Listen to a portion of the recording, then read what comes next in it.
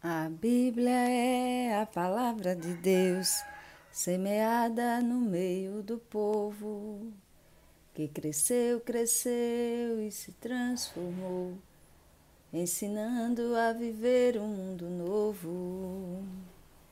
Santo dia, a paz de Jesus e o amor de Maria esteja conosco nesta manhã, neste dia que se inicia, que possamos estar atentos à voz do Senhor através da Sua palavra. Estaremos reunidos em nome do Pai, do Filho e do Espírito Santo. Amém.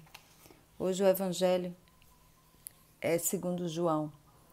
Proclamação do Evangelho segundo João, de Jesus Cristo segundo João. Glória a vós, Senhor. Pegue sua Bíblia no capítulo 3 de João e vamos do 16 ao 21. Pois Deus amou tanto o mundo que entregou o seu Filho único, para que todo que nele crê não pereça, mas tenha a vida eterna. Pois Deus não enviou ao seu filho, o seu filho ao mundo para julgar o mundo, mas para que o mundo seja salvo por ele. Quem nele crê não é julgado. Quem não crê já está julgado, porque não creu no nome do Filho único de Deus. Este é o julgamento. A luz veio ao mundo, mas os homens preferiram as trevas à luz porque suas obras eram mais. Pois quem faz o mal odeia a luz e não vem para a luz, para que suas obras não sejam demonstradas como culpáveis. Mas quem pratica a verdade vem para a luz, para que se manifeste que suas obras são feitas em Deus. Palavra da salvação. Glória a vós, Senhor. Meu irmão e minha irmã, quem não está na luz não quer ser, não, não quer se aproximar de Deus, porque tem receio de que suas obras mais apareçam, né? Mas quando estamos na luz, queremos, quanto mais estamos na luz, mais queremos essa luz, mais queremos estar em Deus. E a, a palavra é bem clara e diz que quem não crê não será salvo. Então, que possamos nos abrir à ação do Espírito Santo, que possamos crer que Jesus Cristo é o, é o nosso único Senhor e Salvador que possamos crer que verdadeiramente Deus amou tanto o mundo que deu seu único filho para que a gente não perecesse. Mas, aqui diz, mas os homens preferiram as trevas à luz. Que tristeza, que tristeza deve, deve vir ao nosso coração quando entendemos que a cada dia escolhemos as trevas e não a luz. Mas que felicidade todas as vezes que, que escolhemos a luz. Peçamos essa graça ao Senhor. Hoje é essa é a minha oração. Senhor, faça-nos encontrar a tua luz, faça-nos querer a tua luz, faça-nos querer estar contigo, faça-nos querer saborear desse teu amor, dessa tua misericórdia. Nos afasta das trevas, Senhor. Manda teus anjos ao nosso redor, para que possamos nos afastar cada vez mais das trevas e nos aproximar da luz. Que, estando na luz, as pessoas que estiveram ao nosso redor possam ser iluminadas com essa luz que vem de ti, Pai. Assim eu peço no nome de Jesus para mim e para as pessoas que me escutam nesta manhã. Que o Senhor nos dê a graça do entendimento, da sabedoria, para, possam, que possamos sempre escolher a luz, a luz que vem de ti. Que o caminho das trevas não seja vencedor em nossas vidas.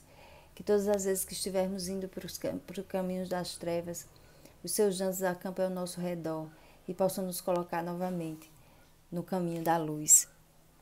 E assim, e a palavra termina dizendo: Mas quem pratica a verdade vem para a luz, para que se manifeste que suas obras são feitas em Deus. Então, Senhor, te pedimos que as nossas obras sejam manifestadas em Ti, que ao olhar para nós, cada irmão e cada irmã, cada pessoa do mundo que se aproximar de mim, do meu irmão e minha irmã que estamos escutando agora, possam ver as Tuas obras feitas em nós, porque para que sejamos, que essa luz que emana de nós, que vem de Ti, possa ser luz para a vida de muitos irmãos. Assim eu oro em nome de Jesus e peço, Senhor, misericórdia, misericórdia, misericórdia de todos aqueles que estão preferindo as trevas, de todos aqueles que não abrem a tua palavra, não saboreiem das tuas promessas através da tua palavra. Tem misericórdia dos nossos familiares, amigos, parentes, colegas de trabalho tem misericórdia daqueles que estão nas guerras, nos países em guerra, daqueles que promovem as guerras, aquelas pessoas que não enxergam a luz, Senhor. Misericórdia, misericórdia, misericórdia. Nossa Senhora, rogai por cada pessoa que possamos rezar o Santo Texto diariamente, intercedendo pela luz no mundo, porque a luz já veio, mas nós o rejeitamos. A luz, a luz que jorrou sangue e água do seu coração já veio e nós o rejeitamos. Por isso, Jesus, eu confio em vós, mas tende misericórdia de nós. Que assim possamos continuar o nosso dia clamando a Deus por essa luz, meu irmão e minha irmã.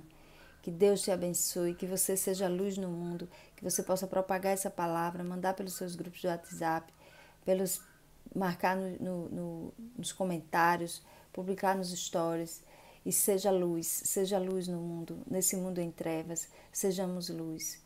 Nosso anjo da guarda nos guarde de todo mal, de toda treva e que possamos ser luz. Deus te abençoe e até amanhã, se Papai do Céu nos permitir. A minha voz hoje está um pouco cansada, eu dormi mal, mas é com ela que eu louvo ao Senhor e bendigo. E nesta manhã ofereço aquilo que tenho, aquilo que sou, a minha miséria, o meu cansaço, eu te ofereço, Senhor, e te peço pelos meus irmãos que me escutam. Santo dia, Deus te abençoe e até amanhã, se Papai do Céu nos permitir.